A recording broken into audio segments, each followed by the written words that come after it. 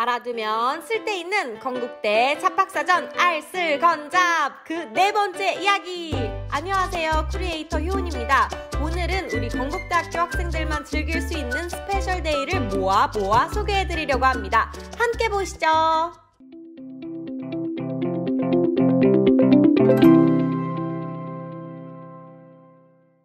건국대학교의 자랑, 건국대학교의 마스코트, 바로 넓고 넓은 건대호수 일감호. 건대생이라면, 아니, 건대생이 아니라도 건대를 아는 사람이라면 이 호수에 대해 모르는 사람은 없을 겁니다. 매년 5월 이 일가모를 중심으로 축제가 열리는데요. 이름하여 일가모 축전! 대동제라고도 불리는 이 축제를 하는 날은 여러 동아리에서 준비한 체험 부스부터 끼쟁이 건국인들의 수준급 무대와 초대 가수분들의 화려한 무대까지 즐길 수 있습니다. 19년에는 15일부터 17일까지 한여름밤에 크리스마스, 크리스마스, 크리스마스 컨셉으로 진행되었는데, 아, 축제는 역시 건대 라는 말이 괜히 있는 게 아니었군요. 컨셉부터 남달라, 남달라! 에어본 버카, 인생 네컷, 우유 빨리 마시기 대회처럼 신나게 참여하는 부스도 진행되었다고 해요. 다른 학교에서 쉽게 볼 수 없는 우리 건국대학교만의 짜릿짜릿한 동아리 체험 부스로 막을 여는 일가무 축전! 그중 단연 인기 있던 행사는 바로 오직 건대에서만 할 수 있는 일가무 뱃놀이 스탐십입니다. 일가무 축전이니만큼 일가무에 빠져보는 게 당연한 거 아니겠어요? 커플이 뱃놀이 같이 다녀오면 싸운다는 썰이 있으니 주의할 것! 이렇게 뱃놀이까지 즐기다 보면 어느덧 밤이 찾아오고 학생회관 무대에서 엄청난 공연이 펼쳐집니다. 우리 학교에 끼쟁이들이 이렇게 많다고요? 댄스 동아리부터 태권도 동아리, 밴드부의 수준급 공연이 이어지고 초대 가수분의 무대로 분위기 화룡점정! 우리 건국인들 놀기도 참 잘 노는데 코로나 사태가 진정되면 다 같이 모여서 우리가 얼마나 잘 노는지 보여주자고요! 우리의 찬란한 5월을 더 찬란하게 빛나게 해줄 일감호 축전이 건대생이 즐길 수 있는 special day 그 첫 번째입니다. 1학기에 신나는 일감호 축전이 있다면 2학기에는 성신의 예술제가 있습니다. 10월에 진행되는 건국대학교 가을 축제 성신의 예술제가 건대생이 즐길 수 있는 special day 그 두 번째입니다. 예술제라는 이름에 걸맞게 우리 학생들이 다양한 방식으로 참여하는데요.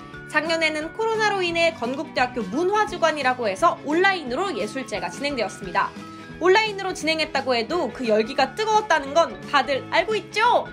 마술교실, 너와 나의 구구절절, 타로 one day class, 구해줘 자취홈즈 등의 코너가 열리면서 다방면에 걸쳐서 건대인의 고민을 해결해주고 힐링벌스로 초대 가수분들과 우리 학교 응원단을 비롯한 여러 동아리에서 공연을 보여주고 코로나로 지쳤던 2020년 10월 우리의 밤을 따뜻하게 다독여 주었습니다. 그런데 여러분, 성신의 예술제가 탄생하게 된 배경 다들 아시나요? 성신의 예술제는 10월 건국대학교 항쟁의 날을 기념하기 위한 행사입니다. 그래서 건대 항쟁의 날을 기념하는 행사가 진행되기도 하는데요. 작년에는 온라인 사진전이 이루어졌습니다.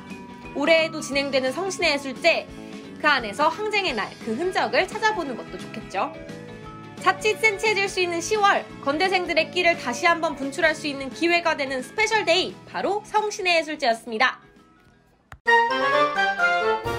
건대생이 즐길 수 있는 special day라고 하면 빠질 수 없는 day가 하나 있습니다. 단어만 들어도 가슴이 뭉클해지는 day인데요. 바로 여러분의 노력이 결실이 되는 날 입학식과 졸업식입니다. 고교 시절의 피땀 눈물이 건대 입학이라는 결실을 맺는 입학식 4년 혹은 그 이상의 대학 생활을 마무리하고 사회로 나아가는 졸업식. 건국대학교에서 하면 또 다르죠. 먼저 입학식부터 열리고 자유로운 분위기의 건국대학교답게 딱딱한 입학식은 NO! 웅장한 새천년관에서 총장님과의 대화로 시작하는 입학식은 내가 꿈꾸는 대학생활 Q&A. 에어팟을 받아갈 수 있는 추첨 코너 그리고 축하 연예인 공연에 우리 학교의 자랑인 응원단 악스케이의 축하 공연까지 진행되면서 우리 건국인들의 시작을 온 힘을 다해 응원합니다. 이어서 눈물의 졸업식 빼놓을 수 없는 날이죠. 전기 학위 수여식, 후기 학위 수여식으로 1년에 두 번 진행되는 졸업식 날에는 학위복을 입고 우리 학교 마스코트 쿠와 함께 일가무를 배경으로 사진 찍는 졸업생분들을 여기저기에서 만날 수 있습니다.